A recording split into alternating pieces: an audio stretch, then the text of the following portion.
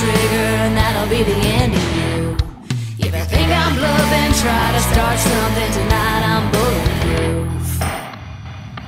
So go